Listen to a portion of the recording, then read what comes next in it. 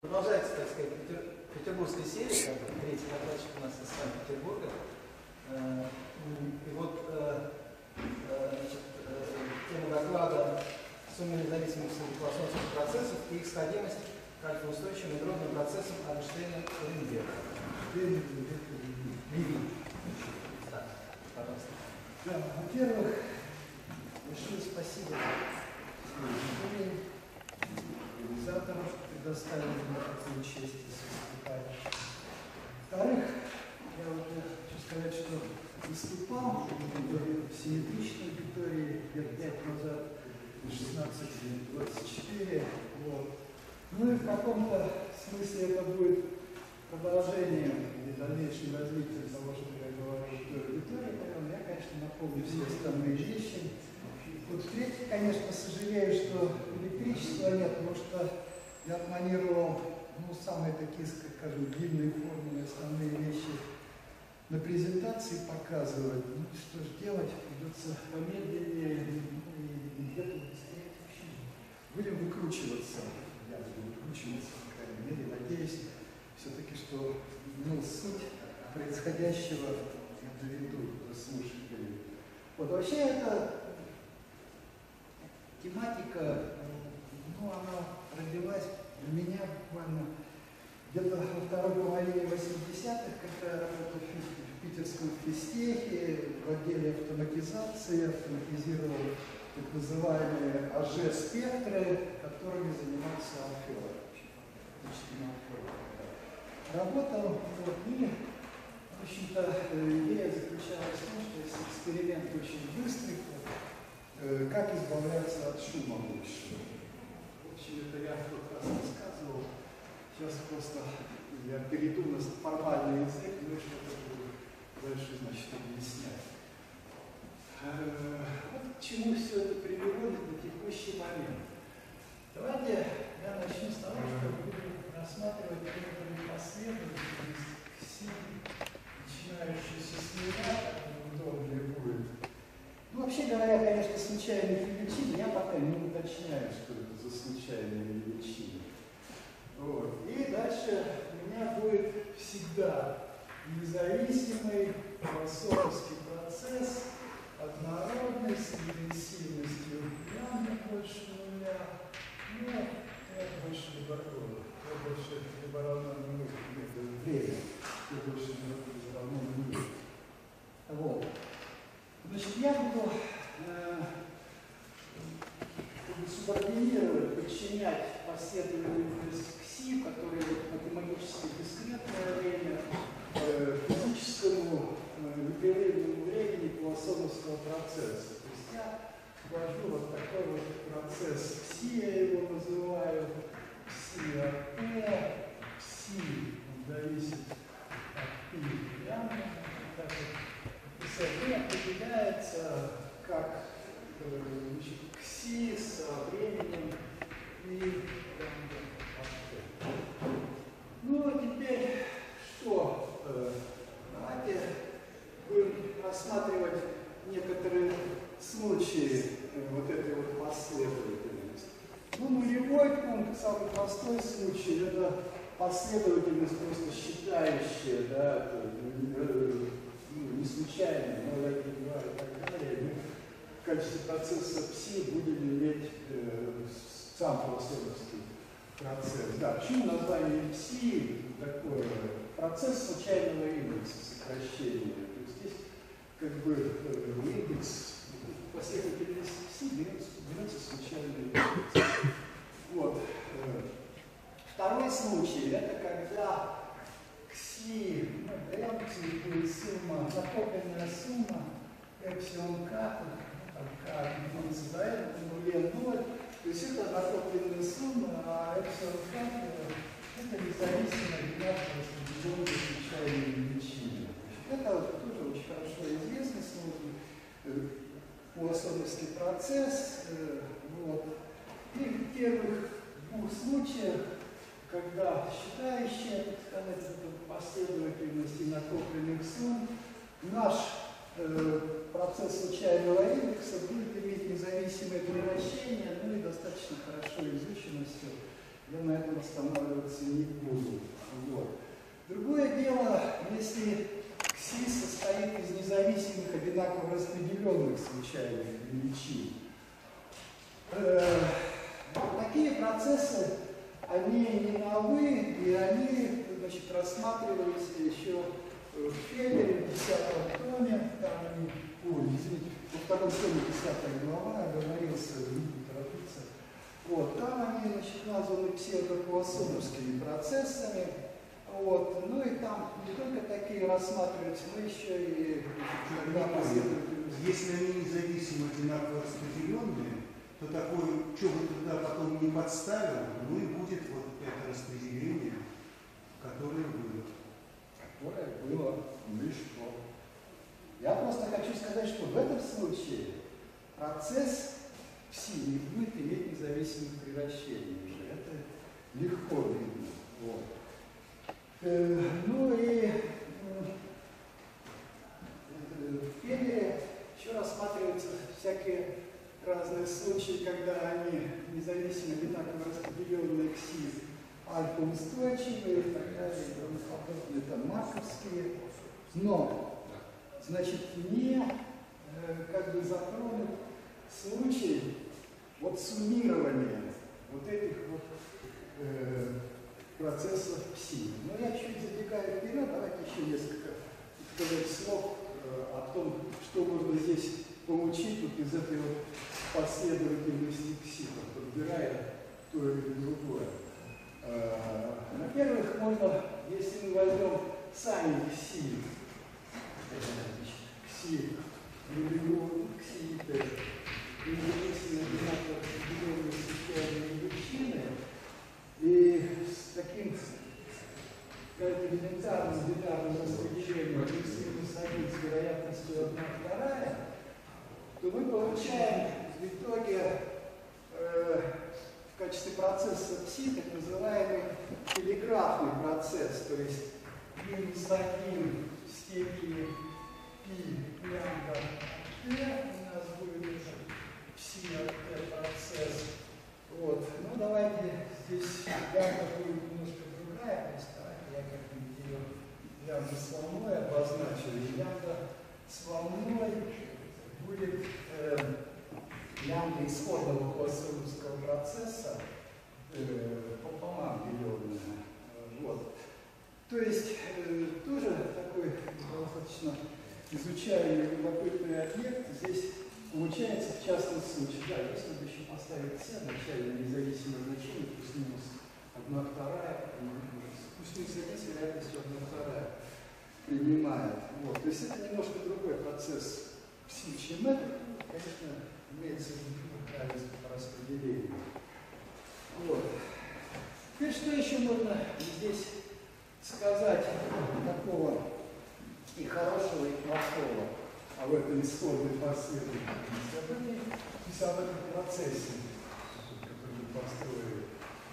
Значит, если у нас сами кси состоят из нормальных случайных величин, независимых, одинаково распределенных, то тогда у нас э, вот этот вот процесс пси, э, он будет э, иметь, так сказать, равномерное ну, сечение распределения всегда нормальное, но совокупность нормальной, конечно, не будет. Тут просто вот такая вот, э, такой эффект возникнет, что уже как конечномерное распределение не будут все нормальные процессы, все нормальные не будут. Вот. Но э, если у нас кси состоит вот этой последовательности независимых одинаково распределенных или даже стационарных случайных величин, то пси процесс, процесс с непрерывным временем, тоже будет стационарным. Это достаточно, в общем, простой очевидный факт, что не будет зависеть здесь стационарность, а здесь значит, эксплуатируется Лассоновский процесс имеет независимые и значит, стационарные народные вращения. Вот. Теперь ключевой, значит, здесь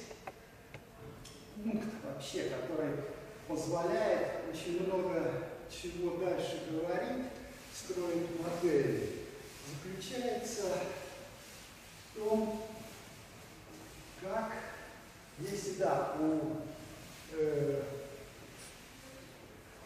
у КСИ нет дисперсии, то как получается конвариация КСИ, значит, ну, центрированные нормированные случайные величины, дисперсия единичная, математическое ожидание ноль. Значит, конвариация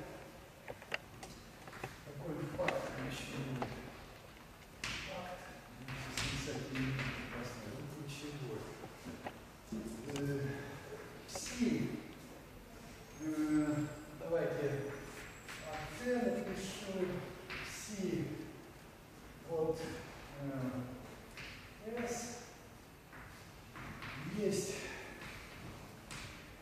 не что иное, как Е в степени минус лямбда модуль Сейчас, а кси как разделение сейчас? Кси у нас э, независимо от распределенной случайной величины, у них математическое ожидание но дисперсия ну, дисперсия единица. Вот. Значит, это на самом деле довольно простое следствие вот такого представления, что пси от t э, ну, по распределению можно представить в следующем виде. Как сумму бесконечную g равняется нуля до бесконечности пси g и умножая на индикаторную функцию того, что π от t, π лямбда от t равно s. Вот. Теперь давайте Профессор, корень, корень, жи. Простите, очень буду торопиться. Боюсь. Спасибо за подсказку. Значит, вот это, так сказать, одно из таких вот представлений эквивалентных э, вот этого субординатора. И здесь, значит, э, ну что, веса, они индикаторную форму э, имеют. Ну и дальше здесь достаточно такие, ну, они не такие короткие, не такие длинные, ну, в общем, понятные манипуляции, которые эксплуатация всех свойств хороших пласоновского процесса, ну, и независимости. Ну, и, в общем-то, забегая вперед, могу сказать, что эта формула также дает ну, ответы необходимые, если у нас КСИ не э, ну, стационарная, как последовательность, она стационарная, она вот с такими. И что, все равно будет то же самое? Ну, это представление, что будет. Нет, вариация. А, Нет, а что? Я, да, вот то же самое. Вот. Сейчас, значит, немножко подпустил, но вот это, конечно, надо было сказать. сказать. Э, собственно говоря, какая модельная, что ли, составляющая вот процессов, где и как и зачем они могут появиться.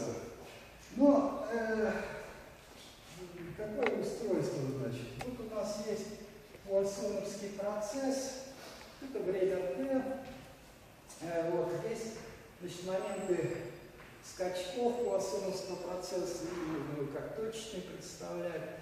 Значит, тау-1, тау-1 плюс тау-2 и так далее, где тау это независимые одинаково распределенные случайные величины, имеющие показательное распределение с параметром лямбда. Вот. И, значит, у нас э, как бы вот, да, вот эти вот интервалы между последовательными скачками или точками Пуассоновского процесса я буду называть спейсингами. Вот. И у нас как бы каждый спейсинг или каждая точка спейсинга, она взвешивается ну и на ней висит случайная величина кси. Здесь кси нулевое, потом она переходит куда-то, э, здесь кси первая случайная величина и так далее.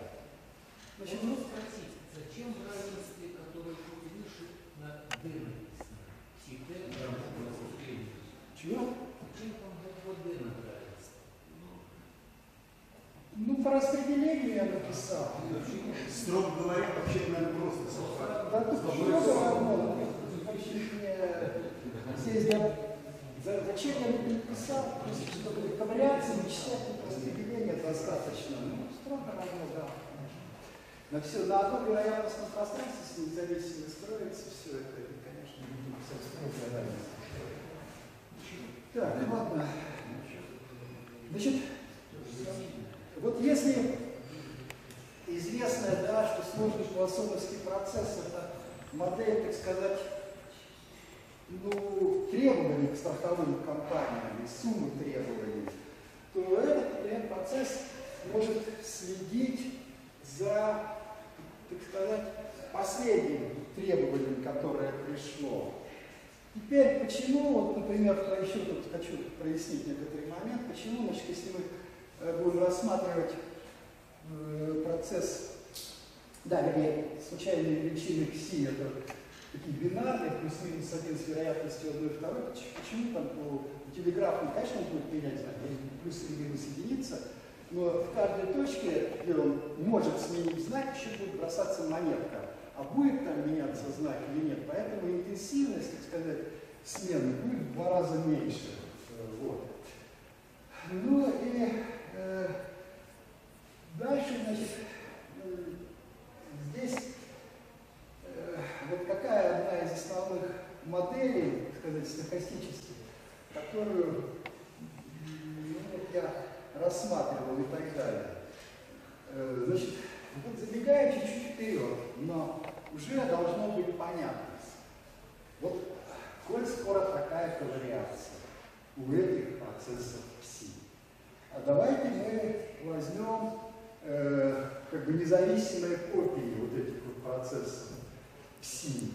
Э, ну и э, давайте мы э, возьмем, так сказать, какие-то их сечения конечномерные, и у нас будет э, сумма векторов независимых, ну там, если сечение d-мерное, то d-мерных векторов, независимых вот заданной ковариацией. Ну и работает центральная предельная теорема для векторов, и сразу мы видим, что ну, сразу видим сходимость конечно-мерных распределений процесса Штейна-Левека. Это раз. Теперь два. Значит, вот одна из, так сказать, классических работ э, финансовой математики, это работа Олдриха Васичика, значит, если я не ошибаюсь, 70 по-моему, год.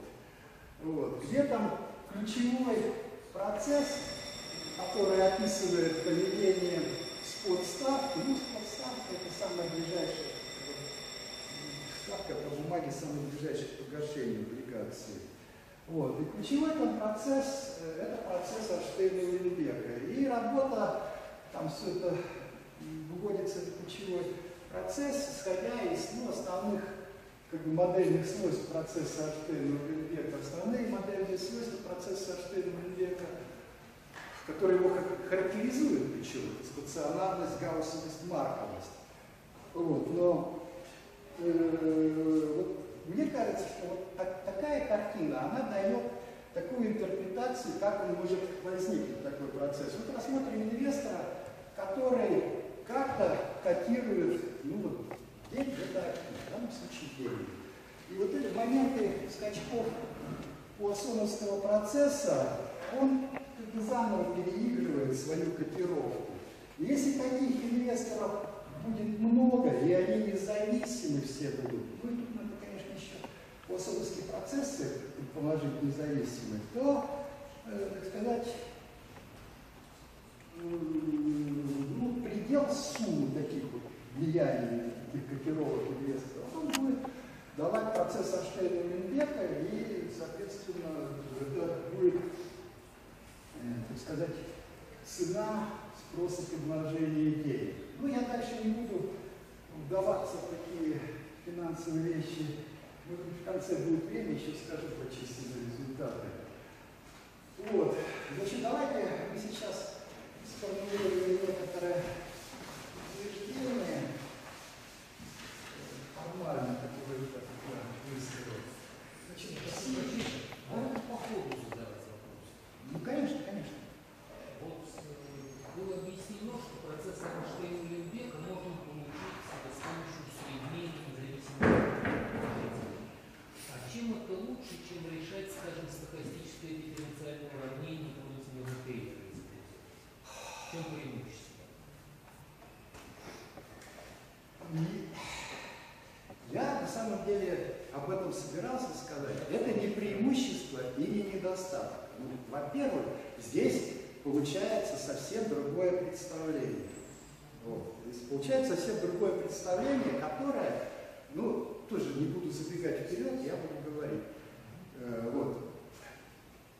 Единственное, сразу могу сказать, что в Гауссовом случае ничем.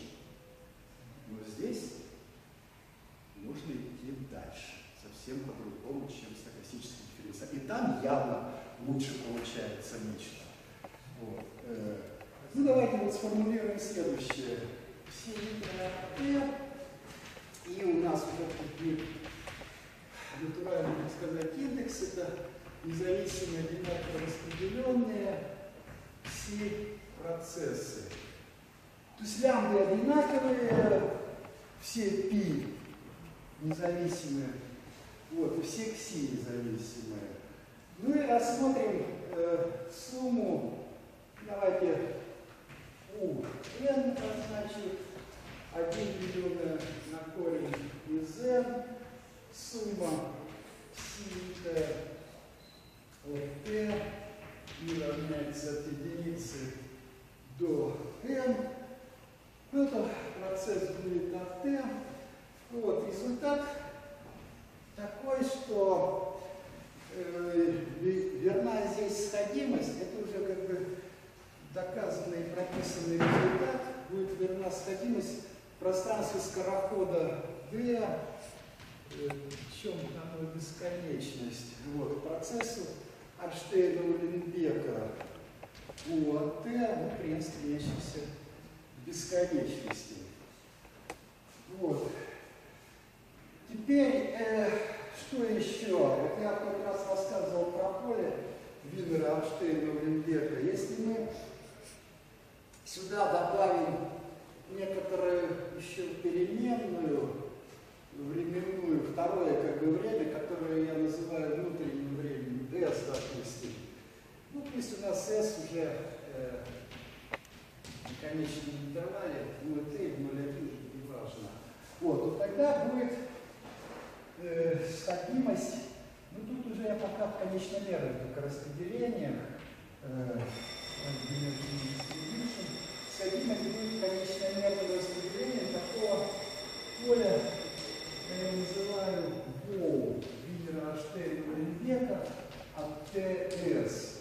Но это что такое? Это гауссовское поле, центрированное, у которого, значит, по времени S вариация идет. В общем, это, как говорится, тензорное произведение винеровского процесса, нейтроновского движения и процесса Эйнштейна Уленбека.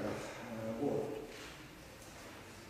Ну, здесь, значит, что, э, м, какие здесь, так сказать, вот обобщения вот этого объекта, которым я хочу вот ключевое. В тот раз я совсем этого не касался. Значит, если у нас КСИ, ну я сейчас буду говорить для простоты восприятия, что КСИ у нас последовательность, сказать, независимо одинаково распределенные случайные величины э, S альфа S закона, то есть э, симметрикон альфа стейбл, это сокращение. Одномерный. Ну, все они одномерные, все одномерные. Вот, состоит из независимых случайных величин. И у нас кси, соответственно, должны быть, э, э, иметь характеристическую функцию следующего вида, значит, просто напишу характеристическую функцию e в степени минус э, модуль характеристическая функция меня. Пусть она будет у меня переменной вот, минус мю, мю у меня вещественная, естественно. Вот, в степени альфа. Альфа я предполагаю всего спектра пока значений. Вот. Э, и э, нормирующий здесь множитель, я полагаю, единицы написать, единицы для этих сил. Вот. То тогда будет э, верна сходимость э, вот здесь вот, я позволю исправить здесь чуть-чуть. И э, здесь будет, будем уже говорить про сходимость э, конечномерных распределений пока. Э, будет верна сходимость, вот тут вот альфа я напишу, здесь альфа я напишу, пси будет у меня здесь, n оставлю, а здесь, естественно, мне надо написать один деленное на корень из А. Теперь что это за объект, вот этот вот, э, у альфа от Т? Чего? Объект у альфа от Т? Это э, Когда был корень z, к каким величинам относился? Но там был про- процесс распределения. Я здесь суммирую вот эти вот псевдополосовские процессы и субординаторы независимые, у которых,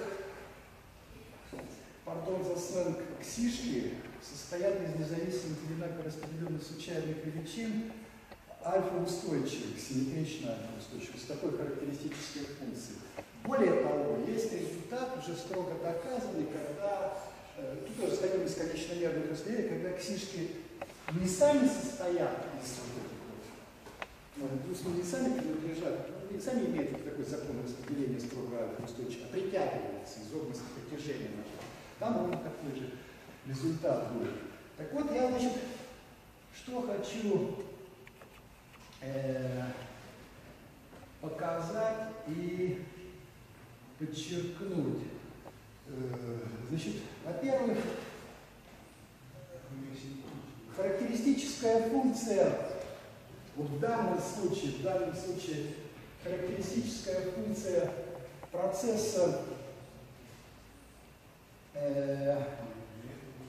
значит, вот он будет стационарный, будет зависеть от э, вот здесь вот процесс пси будет стационарный. В сечении будут альфа-устойчивые случайные величины. Вот. И, естественно, характеристическая функция совместного парного распределения будет зависеть от одного параметра, так сказать, расстояния по времени. Ну, пусть это вот расстояние по времени s, и тогда характеристическая функция такое напишу одну ну, имеет вид такой. Э, Значит, надо взять характеристическую функцию случайной величины си точки ню, характеристическую функцию случайной величины кси точки ню, помножить на такой вес 1 минус е в степени минус лямбда s и плюс плюс Э, соответственно, надо взять такое пси. Здесь кси приписать индекс и, значит, ню плюс ню и умножить на другой, ну, на дополнительный вес. Е в степени минус лямбда s. Вот будет такая характеристическая функция у одного процесса пси Сейчас объявили что-то такое сейчас. Помечниво. Какое Я имею, я имею сечение вот этого, вот этой вот точки какой-то Т в точке Т плюс С. И характеристическая функция вектора, парная характеристическая функция. Вот. Для альфа-устойчивого случая это недостаточно, сразу говорю, но вопрос ре- уже решен, как-то дальше перейдем. Чего это достаточно? Ну, э, вот чтобы вот такой вот зада- за- задавать вот такой вот объект, недостаточно одной характеристической функции. Э, смысле, парного распределения. Если гауссовский случай, там достаточно. А здесь, вот здесь тоже все это как бы, уже замечено и подсчитано. Так вот, у э, альфа от Т, соответствующее, ну, соответствующее, или АТС, АТС, соответствующие вот этим вот точкам парное распределение в пределе в альфа-устойчивом случае, будет иметь следующий вид. Э, сейчас, значит, его надо найти. Сейчас, извините. Техническая.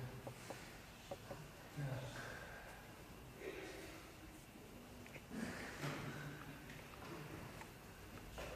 Нет, я просто готовился к этому. Потому что вот. В принципе, у тебя есть электронная версия. Значит, э, минус, минус логарифм, э, соответствующий э, пси от ну, ну, будет иметь такой вид. Э, значит, надо взять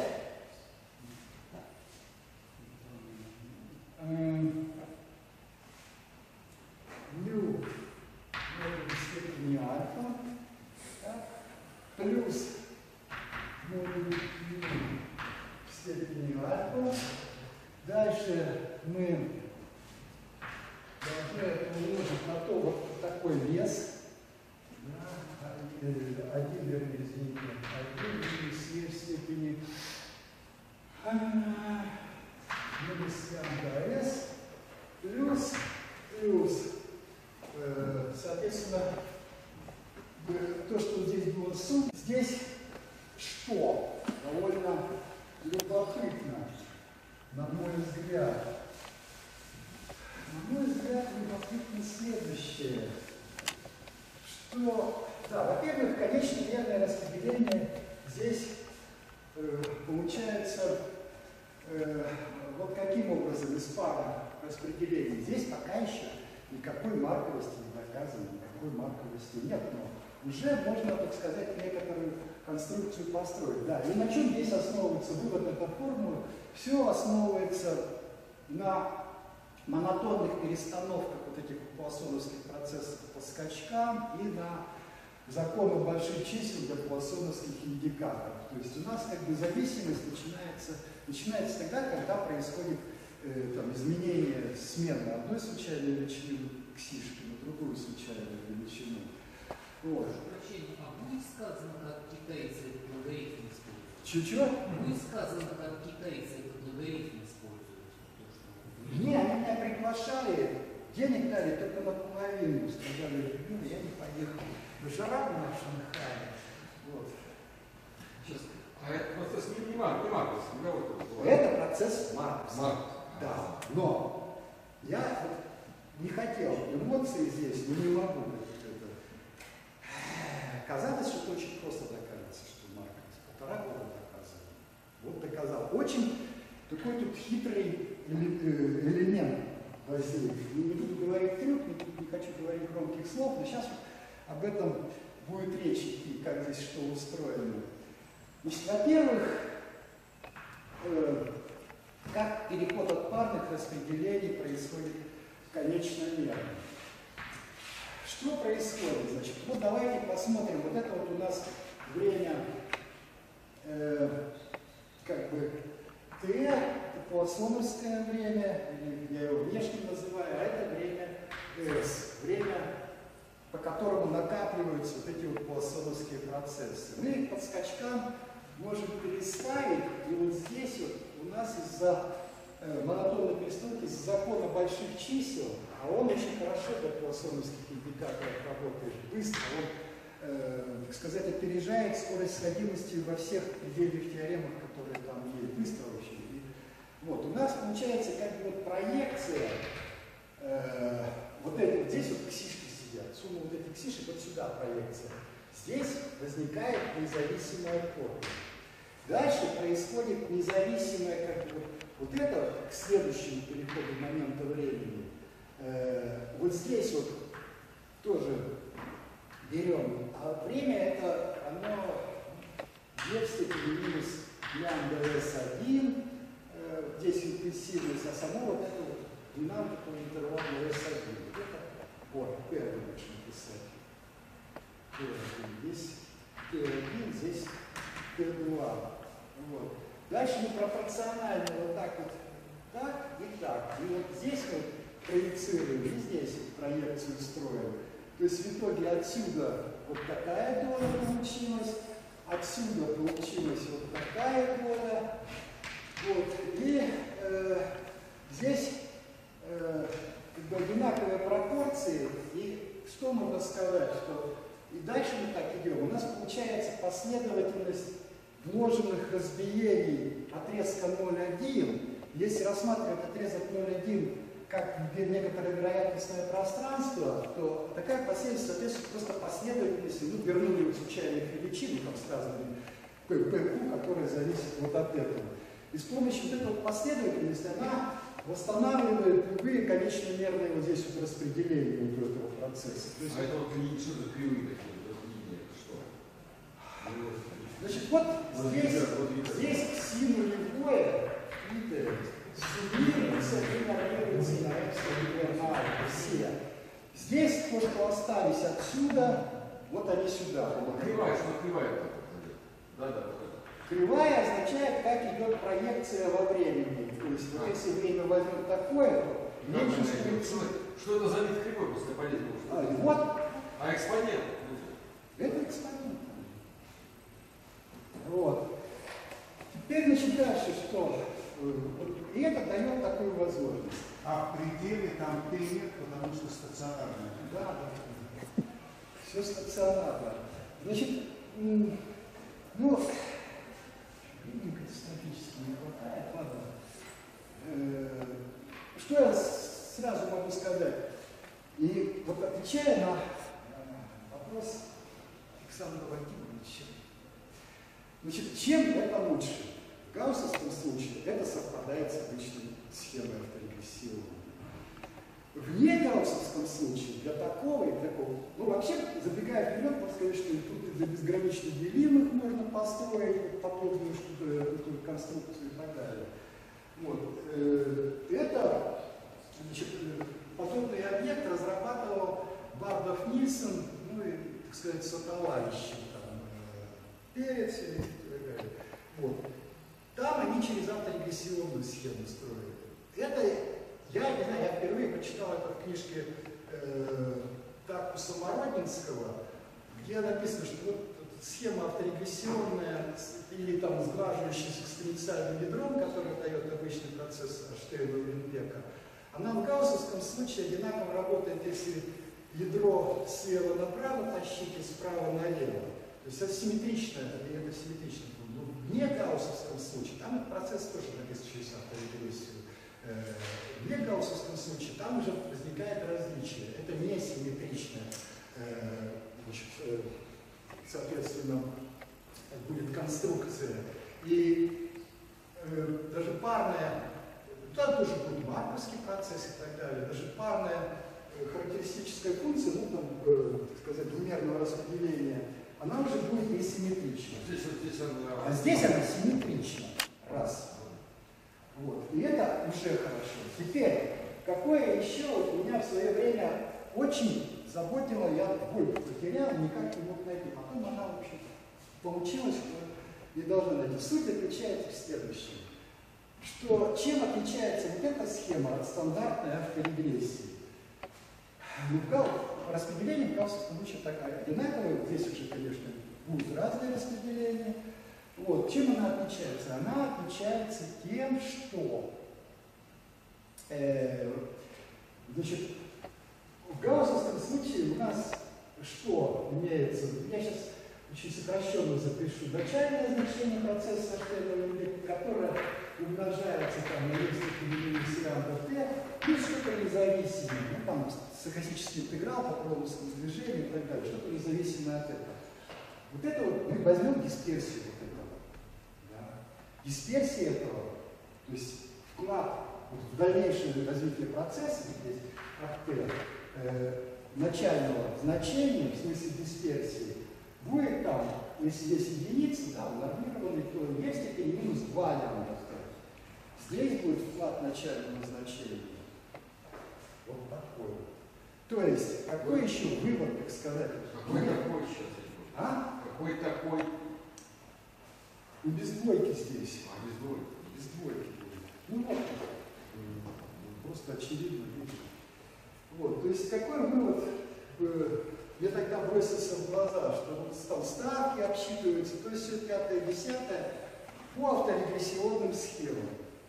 И, и на самом деле легко достаточно заметить и показать, что если у нас имеется стационарный там, гауссовский э, в общем-то, тут вектор, да, то есть вклад, ну, дисперсия, на, на, вклад начального значения от этого с двойкой до вот этого без двойки лежит. Э, это две как бы крайние точки. Вот это авторегрессионная схема. Но здесь мы как бы преуменьшаем риски прошлого, когда начинаем считать риски будущего да, или настоящего. То есть вот этот риск, дисперсии, мы его преуменьшаем. Ну ладно, значит, э, теперь дальше рассказываю, так сказать, что заботило определенное время. Заботило определенное время следующее. Ну, вот предел построен, конечно, А существует ли такой объект, как объект? Вот. И это, в общем, как бы э, одновременно я понял, как он существует, потом Миша Лившиц мне подсказал, как он существует, я еще статью нашел. Пятого года это Вольгер, Вольгер, Итаку, и э, там это предельный э, объект, он был просто постулирован. И я сейчас просто картинку нарисую и покажу, как он, так сказать, работает, этот предельный объект. Вот. Э, как это он устроен. Значит, берется белый шум, так сказать. S, альфа, S. Что это такое плоскости? Ну, это мера такая, с независимыми, э, как так, однородными превращениями, у которой, э, значит, э, характеристическая функция, ну, множество какого-то а, измеримого по Лебегу есть, ну, то же самое, что минус, э, там надо взять t, да, модуль А, ну и помножить на нормирующий множитель, это Лебедова мера множества А. Вот. Теперь дальше, значит, мы имеем вот здесь вот S, имеем здесь T. Давайте я, э, да, что еще Это характеристическая функция этой. Характеристическая функция парня какая? Как устроена? Не-не-не, вот там. То, что написано, характеристическая функция. Нет, это Верно.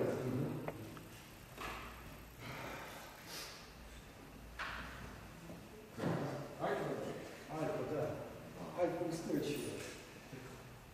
Э, Ну и здесь у нас, ну, во-первых, конечно, можно рассматривать здесь космоский точный процесс на всем R, и вообще стационарность там по теореме Бога, если есть регулярная бесконечность, то минус бесконечности там продолжается. Вот, поэтому давайте вот так вот картинку нарисуем вот так. Значит, как это устроено? Значит, вот надо взять, пусть лямбда равно единице, Т допустим, это другой Т. Т, Т, который в плюсной функции, Т, это это разные, это Это разные. разные. Все разные. ну что мы это? Ну, Не, там не, не, Т. А вот здесь нет? Да. Ну, он решил другую букву, чтобы народ не... Я. Не у него было. да. Ну, нет, С ну, ресторана. Там у меня здесь все нормально написано, просто как бы время. Хорошо. Т, Открывает экспоненты, да? Да. Значит, э, это экспонента. Что мы делаем? Мы берем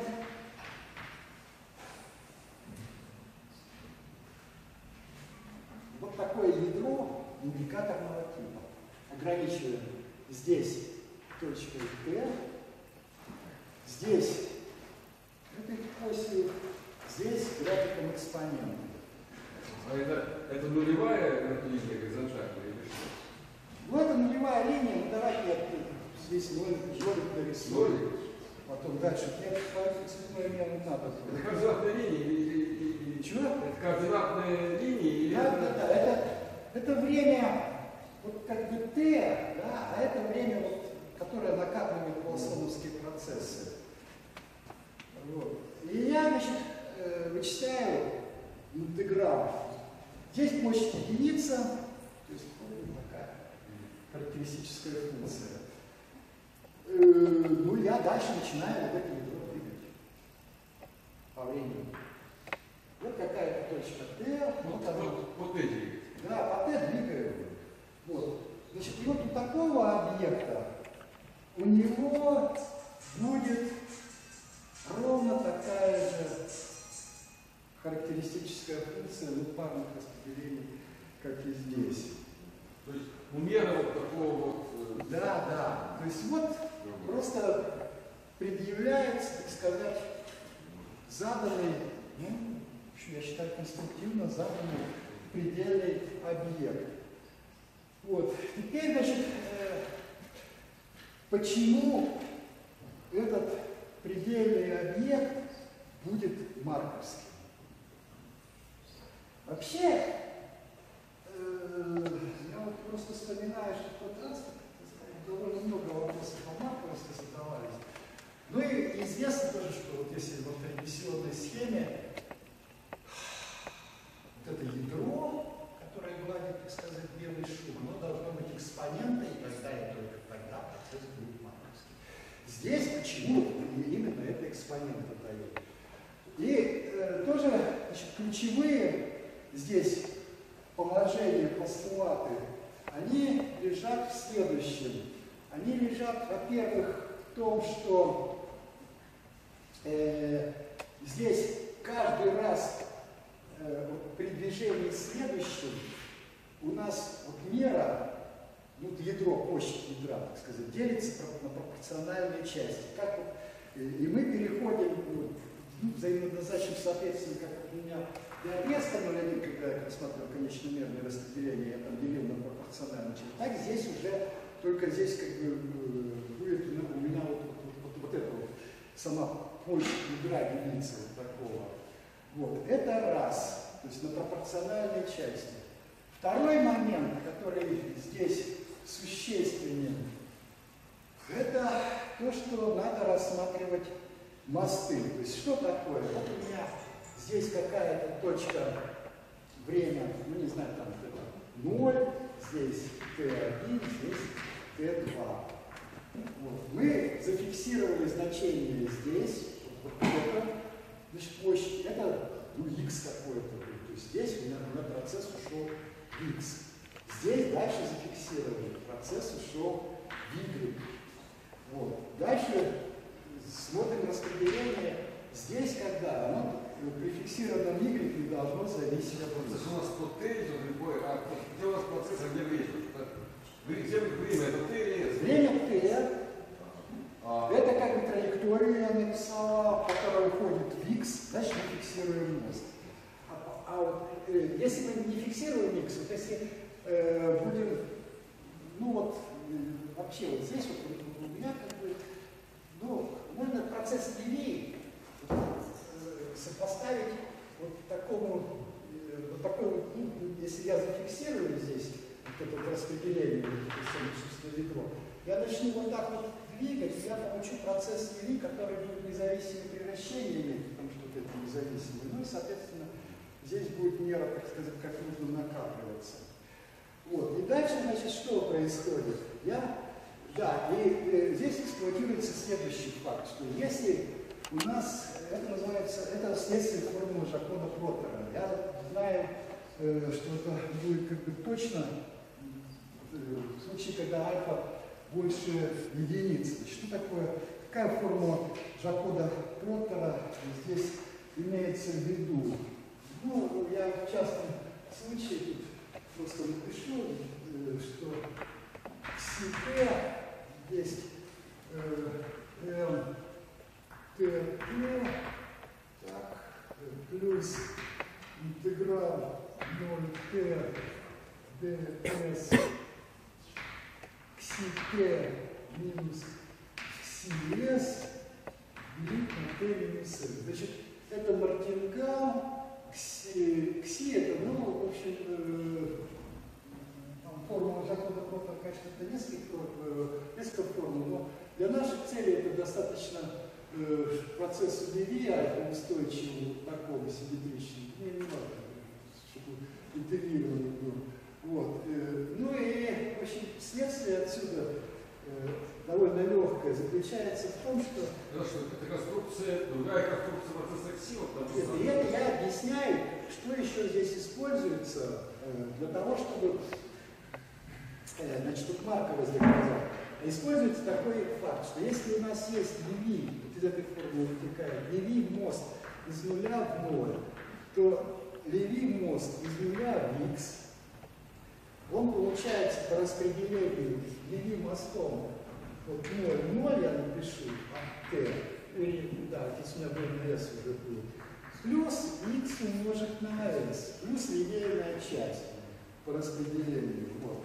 И тогда, значит, мы вот здесь вот, э, как бы, что делаем? Мы зафиксировали сначала из нуля видеть, потом мы в следующем переходу зафиксировали, вот эта часть остается, зафиксировали сюда, и нам надо показать, что вот от этого будет не зависеть следующее, которое здесь вырежет и здесь вырежет одинаковую пропорцию.